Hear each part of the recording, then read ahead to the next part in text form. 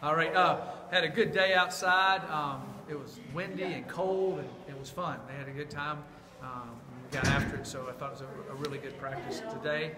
Um, we had a little bit of uh, a time off because I had to go work on the NCAA rules um, committee. So um, we had uh, they were lifting a meeting, and then we're back on our fifth practice today. So we got four this week, so I'm excited about that. Sure hope it snows one of these days. So, all right. Is it good to get your quarterbacks out there and throwing those kind of conditions? Oh yeah, it's really good. It's really good. And uh, you know, early on, a couple of the quarterbacks were like, ah, and then all of a sudden they started making the throws or making plays, and and uh, so it was good. How was that meeting for you? I know a couple of uh, rules they talked Yeah, about. it, it was really rule. good. It was really good. We um, there was a great conversation, and our um, uh, they they've done they've done a good job. Ty Halpin, who's the head of it for the NCAA, um, they're going to get some. A couple of the head coaches that have been special teams coordinators and that type of stuff in the NFL are going to get together, and we got a few more things that we're going to do. Not for this year, but we're trying to um, be proactive in, in a few areas. And it was it was really neat because we met with the NFL's rules committee and our rules committee. And so we were kind of talking about both things in both leagues, which I can't talk about, but it was pretty cool. Um, kind of thinking everybody being proactive on, on our game. One of the things I saw was the uh, fair catch, the kickoff. Yeah. Is that a rule that you like? Yeah, yeah, I do like it. Um, we put it in um, for the reason if you you know as we thought that kicking the ball from the 35, people would just you know kick it out and not have as many returns. But now people are starting to kick it really high, as you've noticed, and catch it on the two or one, and getting down there. So this was a way that it gave you the opportunity to fair catch, and you could have on the 25 if you didn't feel like that was something you wanted to do, or you can return it every time if you want to. So you still have all that. It just gave that opportunity um, to help that.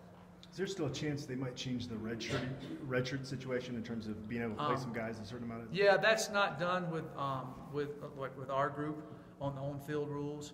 Um, but, uh, I, that's something that the, uh, competition committee's doing. I, I personally would like to see it. I think it'd be an excellent rule. Is it possible for this year, or would that be in the Um, future? the way I understand it, yeah, I think in April, they're gonna look at it again. So hopefully in April, we'll know something. Um, there's a few rules that come out in April and they meet again. So, um, I'm hoping that's a rule that, um, that comes through. A Uh, couple, couple of coaches have said that uh, junior college guys have come along and, and really added a level of competition very quickly to, to spring camp. Are you seeing that? Yeah, they are. It's uh, still a learning um, uh, area for them. They're trying to grasp everything quickly, but uh, um, they've done a good job, and they're all they're all out there competing, and uh, been pleased with all of them so far. One of those is at tight end, and you, you guys have gotten a lot more athletic, it seems, at tight end with Poplawski and, and Chris Bounds. Right, and uh, yeah, and, and Darion, and um, you know um, Russell's doing really well also, and, uh, and Coleman. Uh, but I, I'm yeah, I'm excited about our tight ends and what they've been doing and, and how they're doing. Have you noticed the difference with, uh, is it Nuamoto follow? Is that Uh-huh. Have you noticed the difference with him since he's been back here? Yeah, you've been practicing that. Good job. Uh, yeah, Nuamoto has done really well, um, competing out there, and um, he's in really good shape too. I was a little concerned coming back off of you know being out for a little while, that, but he came back in really good shape, and, he, and Coach Wilson and them did a good job with him in the offseason, but he came back in good shape before that, um, and he's done good in spring practice and. Um, had a positive attitude and doing doing excellent in school.